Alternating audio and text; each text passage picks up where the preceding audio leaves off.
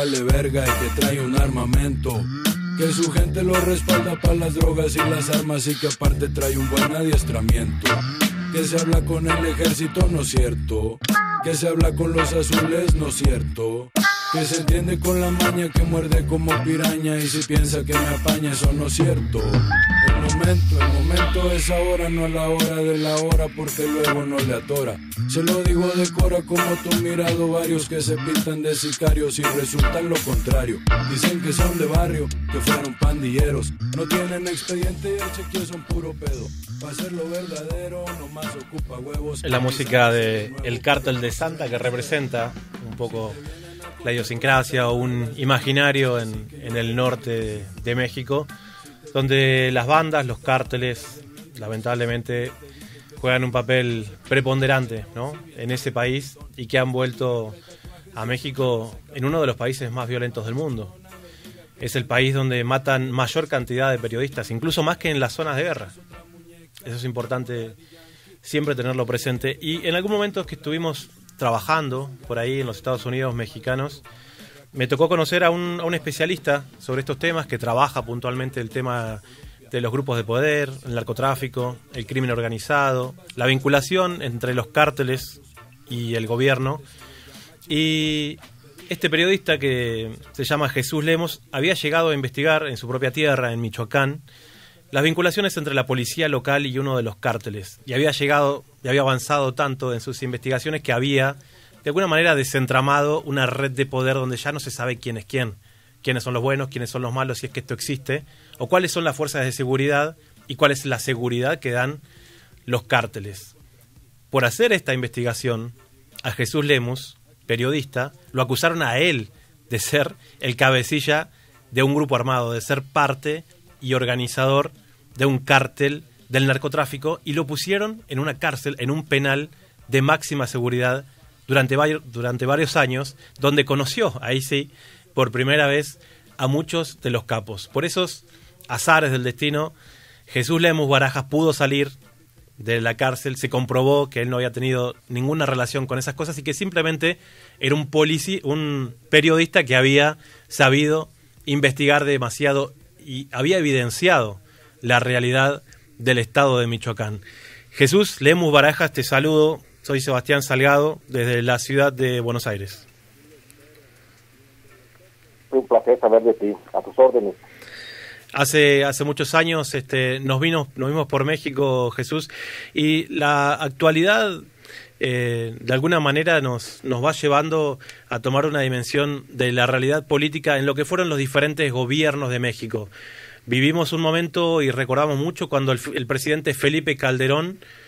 metió al ejército a cuidar lo que sería la seguridad interna que dejó un tendal de más de 50.000 muertos hacia el interior de México, como si el ejército fuera ese, ¿no? El, el, rol que tenía. Después vimos un gobierno como el de Felipe Calderón, el, como el de Enrique Peña Nieto, perdón, eh, donde los 43 estudiantes desaparecidos de Ayotzinapa nos evidenciaron que estas líneas que diferencian a las fuerzas de seguridad y los cárteles del narcotráfico no están nunca del todo claras. Pero en este momento existe lo que en Estados Unidos se llama como el Obama Gate, que es de alguna manera algo que se desprende de una operación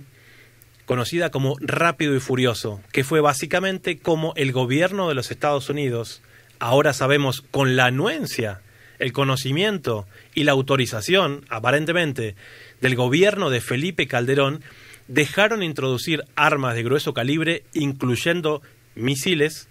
dentro de México, para ponerles una especie de, seguidores y rastrear a grupos del narcotráfico que terminó en un desastre de mayores dimensiones. De comprobarse esto, el, la campaña del presidente Obama, ahora representada en la figura de Joe Biden, podría llegar a enfrentar ciertas críticas muy fuertes y por otro lado, Felipe Calderón debería este, tener cargos eh, penales en los Estados Unidos mexicanos. Contanos cómo ves un poco todo este entramado, Jesús. Gracias por la posibilidad de saludarte, de hablar con tu, con tu auditorio. Pues eh, comentarte básicamente que el entramado que se da en Estados Unidos con el, con el Obama Gate pues de alguna forma va a repercutir mucho en México. El año que entra también, recuerda, son elecciones en, en México y seguramente va a impactar, va a hacer que se posicione de alguna forma este movimiento de, de izquierda moderada que es el de Morena de Andrés Manuel López Obrador y que básicamente ha tenido como su bandera el ataque concretamente a la administración del presidente eh, Felipe Calderón. Son ataques pues bien certeros, o sea, no es, no es un ataque infundado porque sabemos que Felipe Calderón pues hizo nada más, no solamente desprestigió la, la, investidura presidencial, sino que hizo del poder eh, su negocio particular y prácticamente lo puso al servicio del narcotráfico a través de eh, García Luna, que hoy está, bueno, a la espera de un juicio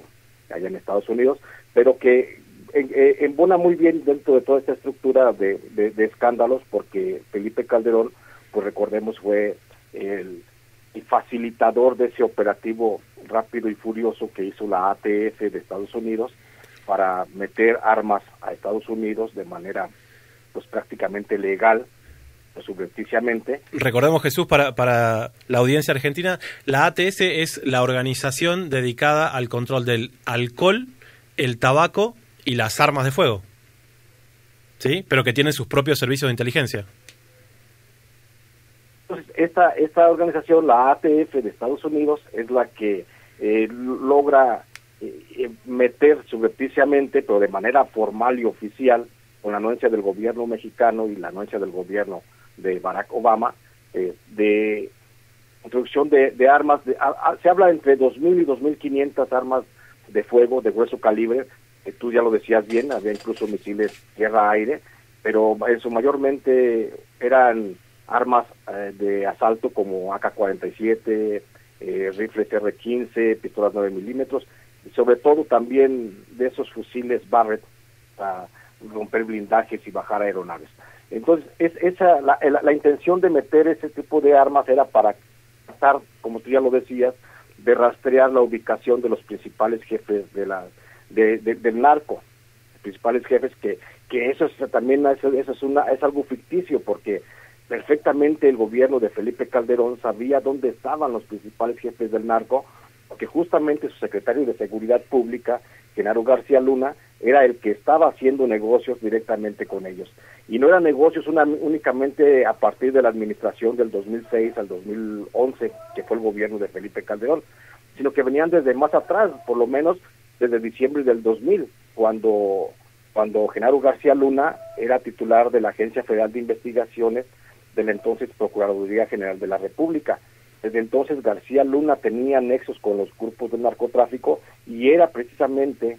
eh, las fuerzas eh, del gobierno, el ejército, la marina, a través de García Luna, a través de la Agencia Federal de Investigaciones, el que estaba proporcionando armamento eh, logística y por supuesto protección a los grupos del narcotráfico. Entonces, lo que viene a hacer el operativo rápido y furioso es únicamente a cerrar ese ciclo de vicio que había establecido ya García Luna con los jefes de los cárteles de las drogas, principalmente con el cártel de Sinaloa, con el cártel de Juárez, que eran sus principales aliados, por supuesto los hermanos también Beltrán Leiva, que eran sus principales aliados, y eso fue lo que posibilitó el ingreso el ingreso de, de, esa cantidad de armas a tratar de ubicar a los jefes del narcotráfico. E insisto, el gobierno federal de Felipe Calderón siempre supo dónde estaba el gobierno, eh, dónde estaban los los jefes de las cúpulas del narcotráfico y pero aún así permitió la entrada de armas tal vez en apoyo a estas mismas organizaciones. Se, habla de un paralelismo, o algunos analistas lo están haciendo, con aquella famosa operación Irán-Contra, ¿no? En la cual los Estados Unidos intentaba venderle armas a Irán para financiar a la contra nicaragüense que estaba enfrentando al, sandinismo en Nicaragua. ¿Vos, vos ves una, una triangulación de, de estas dimensiones, Jesús? El, el, paralelismo está, está fundado, o sea, eh, realmente en el caso Irán Contras, bueno, había, había de por medio eh, las, la, droga que era la que facilitaba la, la, transacción de las armas, pero en el caso de Rápido y Furioso la transacción fue directamente pues económica, fue dinero, fue, numeraria lo que hubo de por medio, pero sí sí hay un, un, paralelismo muy claro en ese sentido que también aquí, este, Sebastián, si me lo permites, debemos de recordar también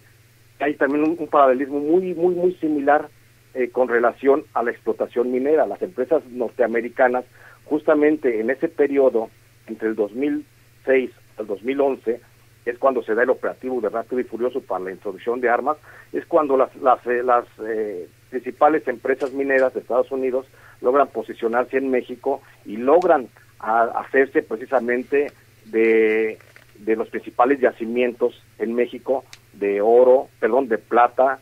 de, perdón, perdón, perdón,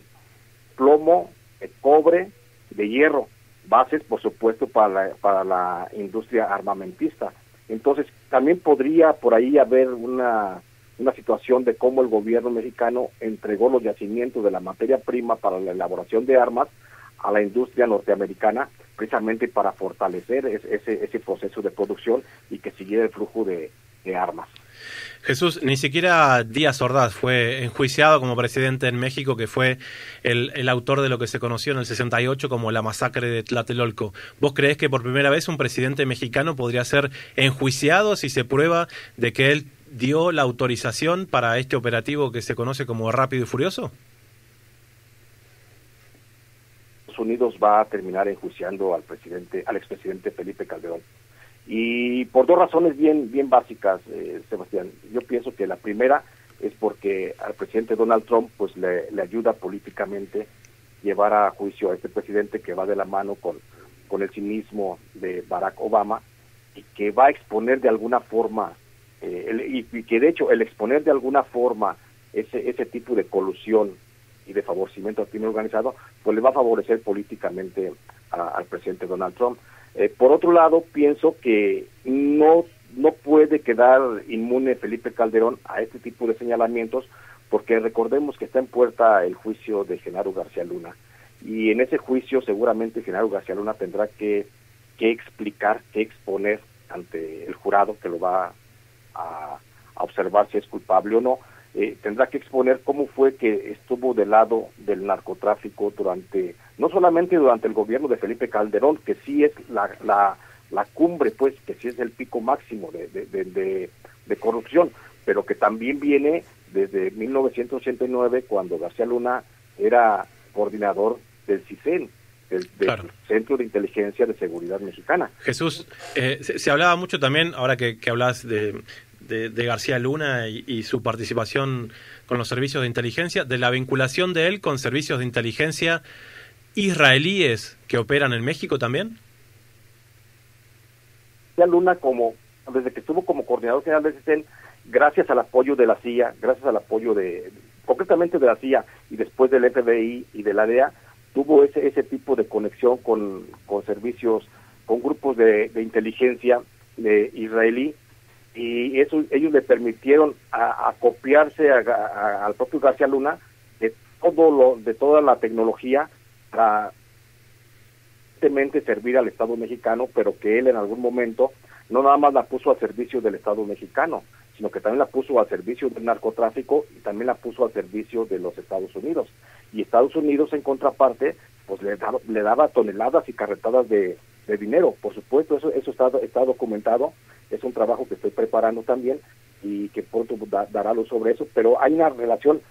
extrema, Sebastián, entre García Luna y los grupos, eh, y algunos grupos de inteligencia israelíes, que luego estos grupos de inteligencia, con la mediación de García Luna, son los que se convierten en asesores de seguridad de algunos grupos del narcotráfico, eh, principalmente del cártel de Juárez y del cártel de Sinaloa. Entonces, sí hay mucho, mucho de trasfondo en eso, y por supuesto que en eso todo tuvo que ver y siempre tuvo conocimiento el entonces presidente Felipe Calderón. Por eso, volviendo a tu pregunta, yo no tengo la, menor duda de que, eh, de que Felipe Calderón va a terminar siendo eh, juzgado en Estados Unidos. Jesús, eh, empezaba yo esta entrevista diciendo que México es el país más peligroso para ejercer el periodismo y por eso la mayor cantidad de periodistas asesinados en el mundo se dan justamente en, este país. Contanos un poco cómo fue tu historia, que yo di una, una pequeña introducción, y por qué vos estuviste detenido en una cárcel de máxima seguridad. Bueno, como lo señalas, en México no es, no es nuevo pues que sea el país más peligroso para ejercer periodismo. Eh, ha sido peligroso desde el año 2000, justamente, insisto, cuando Genaro García Luna estuvo al frente del CICEL. Él fue el que él fue el que implantó prácticamente la escuela para, para eh, limitar la libertad de expresión. Eh, entonces, esa, en, esa, en esa revuelta, pues hemos sido muchos los periodistas, te comento que desde el 2000 a la fecha ha habido por lo menos 18 periodistas que han sido encarcelados, algunos durante algunas horas, algunos durante algunas unos días o semanas y como en mi caso duré tres años y cinco días en una cárcel federal de máxima seguridad por el hecho de haber denunciado las componendas de Felipe Calderón con el cártel de la familia michoacana. Mi delito fue haber señalado la hermana de Felipe Calderón, Luisa María Calderón Hinojosa, que luego fue senadora, también fue diputada, tenía relación directa con el cártel de los caballeros templarios, concretamente con Servando Gómez Martínez, que es una versión que yo saco hacia principios del 2008 y esta versión luego la confirmaría hacia el 2010 el propio eh, Servando Gómez Martínez La Tuta cuando lo reconoce, reconoce esa relación en un video que está público por ahí en el YouTube. Eso es lo que a mí me hace ir a la, cárcel, termino después de, haber señalado en un periódico local en Michoacán de las relaciones de, narcotráfico de Felipe Calderón, pues, termino siendo yo el señalado de narcotráfico. Claro. Secuestran, secuestran, me llevan a la cárcel después de estar desaparecido durante 72 horas, me llevan a la prisión de, de Puente Grande y ahí se me acusa de ser el jefe de la familia michoacana y eso es lo que me mantiene en prisión durante tres años y cinco días. ¿Pensaste en algún momento que no ibas a poder salir de ahí nunca más, Jesús? Pues en, la prisión, en la cárcel federal de Puente Grande, que es una cárcel de exterminio, y lo sigue siendo, por supuesto, donde lo menos es la privación de, de, la, de alimentos, de servicios médicos y del sueño, por supuesto, eh, es, es lo menos, pero ahí todos los días la vida un hilo y yo en muchas ocasiones estaba seguro de que no iba a salir de prisión. Afortunadamente de remontar porque ni siquiera hubo una, una prueba que en firme que me señalara como responsable del delito que se me acusaba o como sospechoso por lo menos. Eh, finalmente pude remontar esa situación, nunca se presentó una sola prueba y terminé siendo exonerado pero después de tres años. Me recuerda un poco también al, al caso del, del montaje de, de Florence Cassés, que el propio Genaro García Luna coordinó con Televisa para fingir lo que era una especie de captura en vivo para los noticieros en el prime time de los noticieros de, López Dóriga de, Televisa, cuando en realidad era un montaje para la televisión y después el juicio obviamente caducó cuando se demostró que eso había sido este, justamente un montaje. Esa es la historia de, de García Luna siempre fue show mediático, él siempre se, se apasionó por las, por las cifras, por las estadísticas, por mostrar a la población una falsa una falsa perspectiva de cómo iba la famosa guerra contra el narcotráfico. Por eso es que durante la administración de Felipe Calderón eh, es que se eleva la cantidad de, de, presos inocentes, por supuesto. Hablamos de cerca de 76 mil presos que fueron encarcelados en ese sexenio y de esos 76 mil presos caso, el 80% ha, estado ha, sido liberado a la fecha. Tienen, nunca fueron encontrados los responsables de lo que se les acusaba y solamente sirvió para engordar las estadísticas. El caso de Florence Cassés eh, y la forma en que García Luna se relacionó, pues no solamente con Televisa, sino también con TV Azteca, que por cierto hoy gran aliado del presidente de la República, López Obrador, pues hicieron crear una falsa imagen en México de que se iba ganando la guerra a la costa de, de, inocentes. En el caso de Florence Cassés, que bueno, finalmente no fue no fue absuelta por por su inocencia en el secuestro, sino porque se liberaron sus garantías, pues como ese caso hay muchos shows mediáticos que fueron exhibidos y señalados. Tenemos el caso, por ejemplo, la operación limpieza, que también García Luna y el gobierno de Felipe Calderón hablaba de, de, de la desarticulación de una red de espionaje del cártel de los Beltrán Leiva dentro de la PGR pero que en realidad pues, fueron absueltos, todos son inocentes. Eh, tenemos eh, tenemos muchos casos donde el general eh, Ángeles Aguajare, que también fue acusado de narcotráfico y por supuesto resultó inocente porque era inocente, y, y, así así otros otros casos donde se aprovechó la alianza maldita entre los medios de comunicación y el poder para dar a conocer una verdad que quería dar a conocer el gobierno de Enrique Peña Nieto, perdón, el gobierno de Felipe Calderón y de Genaro García Luna, porque finalmente pues fue un fracaso total. Jesús, ¿ves alguna vinculación vos, como para ir terminando, entre los cárteles del narcotráfico y los grandes medios de comunicación corporativos, como puede ser específicamente el caso de Televisa en México? yo no veo yo no veo ninguna relación entre cárteles y medios de comunicación en México. Lo que sí veo es esa relación en que podría ser triangular, eh, es esa relación entre cárteles de las drogas con, con grandes empresas, como que señalaba al principio, con empresas mineras, por ejemplo, y esas empresas mineras están muy afianzadas con, con grupos de poder económico en el país, y de ahí pudiera darse una relación. No veo yo ninguna relación estrecha entre televisoras, grandes medios impresos o de información con grupos de narcotráfico. Solo veo que puede haber una triangulación. Jesús, eh, por último, bueno, sabemos la, la vulnerabilidad de, de los periodistas en México. ¿Ha mejorado esto de alguna manera durante el gobierno de Andrés Manuel López Obrador en, este año que lleva de gobierno en relación al gobierno de, de Peña Nieto y de Felipe Calderón? porque solamente lo que va de, esta administración de Enrique Peña Nieto ya son ocho los periodistas asesinados. Eh, eh, perdón, en esta administración. De López Obrador. López Obrador, sí. De López Obrador ya van ocho periodistas asesinados y solamente en este año pues ya van siete. Entonces no hay no hay ninguna ninguna mejora en cuanto a las condiciones de ejercer la libertad de expresión en nuestro país. Y, aquí nada más para, para, completar un poquito, Sebastián, si me permites, nada más recordarte eh, las investigaciones que he hecho y hablando del operativo rápido y furioso, pues hablamos que en 11 ejecuciones de periodistas, eh, la Procuraduría General de la República ha ubicado armas precisamente de las que entraron y fueron registradas por, por el operativo rápido y furioso y creo que esa es una responsabilidad que también debe de responder el gobierno de, Estados Unidos. La muerte de periodistas porque con sus armas también están matando a los periodistas. Te, hablo de 11 periodistas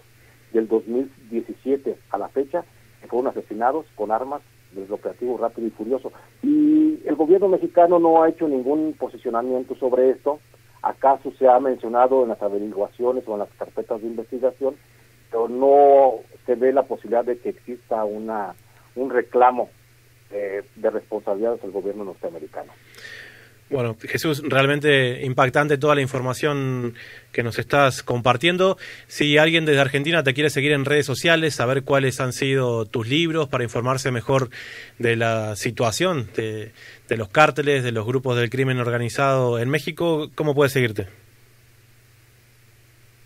Facebook, eh, estoy como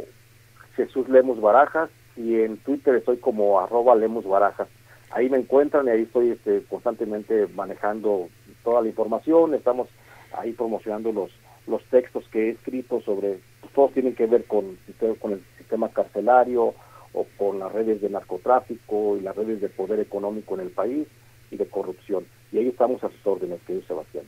Bueno, Jesús, te, agradezco muchísimo por esta comunicación. Esperemos este, seguir en comunicación y poder seguir compartiendo esta información que tus investigaciones nos, nos están brindando hasta aquí en, en la ciudad de Buenos Aires y en toda la República Argentina. Un abrazo muy grande. Era Jesús Lemus Barajas, periodista mexicano,